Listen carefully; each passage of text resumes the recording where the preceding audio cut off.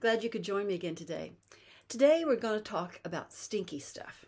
And you know, I doubt that there's a person on the face of this earth that doesn't have some sort of stinky stuff in their life, something in their family they hope nobody finds out, something in their past they really don't want to discuss, or something that's been stuffed like that uh, skeleton in the closet. Stinky stuff. And for others, there's stinky stuff that just pongs through every day of their life. They can't hide it in a closet. Disappointments, abuse, mental cruelty, self doubt, and a host of other things fill their days until the whole life is, is taken up by the stench. And then it just masks the whole beauty of life. Because some things in life we just can't hide, can't we? And you know, stinky stuff loves to rise in the night, doesn't it? It likes to haunt us through the day and make us feel like there are no, there's no escape. There's no deodorant that's strong enough to mask the odor and freshen the room. And then at night, it just drives us crazy as it just keeps replaying and replaying and replaying the stinky stuff in our life. So, what can we do with this stinky stuff? Well, we can keep spraying room freshener, but that's not going to ha- happen, is it? We can still smell it. We can spray the odor of God's word on it, though, and that can help it. Stinky stuff smells like, like fear and doubt and open wounds and heartache, but God's word says He's there to bind up our wounds and to uh, heal our hearts. I think that God knows that we have stinky stuff, don't you? You we like to put it in a closet and close the lid, but we still have that sinking feeling, that sneaky suspicion that it just might creep out. And we know that it's lurking behind us in the closet or wherever we've tried to hide it. So hiding it is what away is, is not a, the thing to do. It's not the real remedy for stinky stuff. The best way to deal with it is to render it neutral. To remove the emotional attachment that it has and just let it be what it is old stuff. It's stuff that we no longer need, we don't want, but yet it's casting a shadow across our lives. And how do we do that? How do we neutralize the odor of the stinky stuff? Well, I want to give you three, and not necessarily easy, steps that will help you uh, bring a more ple- pleasant fragrance to your life. And step one is to call it what it is. It's stinky stuff. It's stuff that's hurt you, stuff that left you scarred, it may be an event, something that happened. It might be a word that was said, and something that where you were overlooked or a, an unforgiveness. Whatever it is, just call it by name. Maybe your stinky stuff is a father that abandoned you, and you just need to say that out loud. My father abandoned me. And just say it, and then try to sit there long enough and state it as a fact until the emotional attachment begins to dissipate. It's a cold, hard fact. Some things in our life are that we can't change them. They're done. They're over with. They're there, but they don't have to have emotional attachment. No anger or fear or seeking revenge or craving of acceptance is going to change the fact of what happened. It is just a fact. So, step one is just to repeat it that way. Every piece of stinky stuff in your life just state it. And then you can move on to deal with it and would deal with each one individually. And eventually, you're going to start recognizing stinky stuff and you're going to move it through that step one a whole lot faster. Just state it. State it for what it is. And once you've called it by name and the emotional um, attachment or response is beginning to lessen, then you're ready for step two. Take that stinky stuff to the cross and apply God's forgiveness and mercy to your situation. You see, God knows all about our stinky stuff, and though it might trouble us, He sees it very differently. Your stinky stuff to God has purpose, and that might sound awfully harsh, but the Bible teaches us that trials are there to create good stuff in our life. They teach us that the Bible uh, gives us endurance, if I put it that way, that it gives us patience, it teaches us how to love and how to forgive. And as we apply God's word to our stinky stuff, we learn those things too.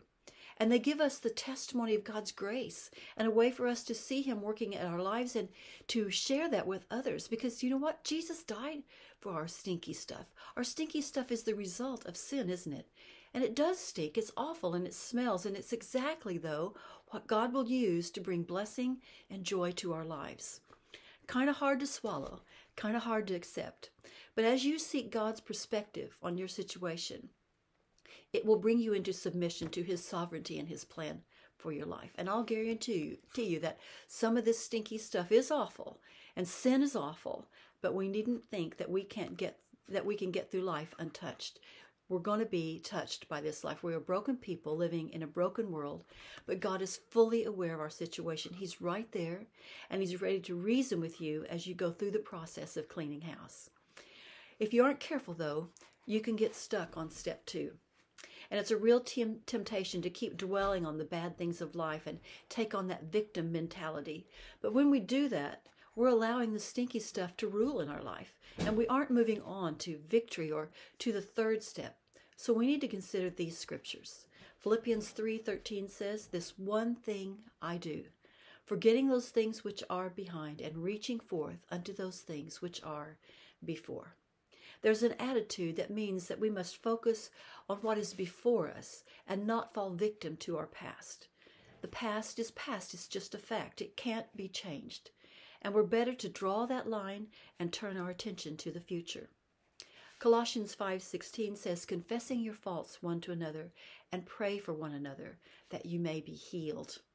Some of our stinky stuff might actually be our fault.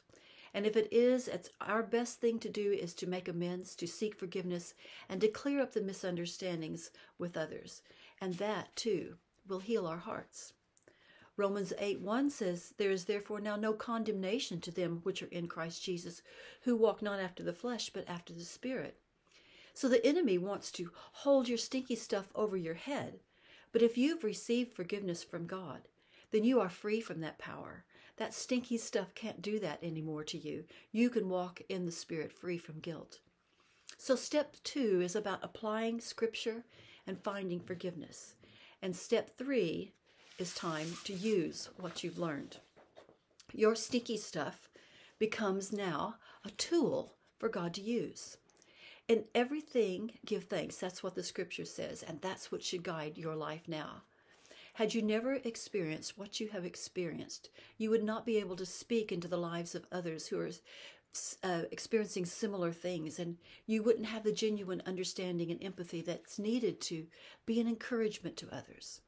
2 Corinthians 12, verses 9 to 10, is Paul's attitude here about step three. He says, My grace is sufficient for thee, for my grace, my strength is made perfect in weakness. Most gladly, therefore, will I rather glory in my infirmities be thankful for them, that the power of Christ may rest upon me. Therefore I take pleasure in infirmities, in reproaches, in necessities, in persecutions, in distresses, for Christ's sake. For when I am weak, then I am strong. His trials, these trials that God has ordained, produce spiritual strength. And dealing with your stinky stuff will do the same for you. Think about this. Had Jesus not endured the path to the cross, suffering so so so hard and so deep for us, he could not have been the savior of our salvation. He had to drink the cup that the Father had prepared for him. And this hardness has the potential to produce great benefit, not only in the life of Christ for us for salvation, but also for us in the lives of ourselves and the lives of others. And your experience with the hard things of your life is a benefit a benefit for those around you. So, step three turns your stinky stuff into a sweet smelling savor. It becomes a place of glorious victory as you learn to leave it behind and move on with Christ. I like to think of these three steps like this the stinky stuff in my life is the stuff that lives in the basement. And you know, it can't stay there. Its stink will rise into every floor of my life unless I clear it out. And to clear it out, I have to bring it upstairs and expose it to the light, the light of God's Word, and I have to face it down with truth. Its power is gone once I follow God's instructions. And then I take it up to the roof and I let it go. And if people ask me what I'm doing, I tell them about this stinky stuff that wounded me and how through Christ I gained victory, and now that I can give thanks to the Lord for all that He taught me and how He healed me. Before we finish today, I want to recommend a book for you. It's called Leaving Yesterday Behind by a man named William Hines. And it's an older book. You can get it used on Amazon or any of the booksellers, but it's one that you will truly gain from if stinky stuff is hanging around in your life. Step one, call it what it is. Step two, take it to the cross. And step three, thank God that He brought you through. I'll see you next week.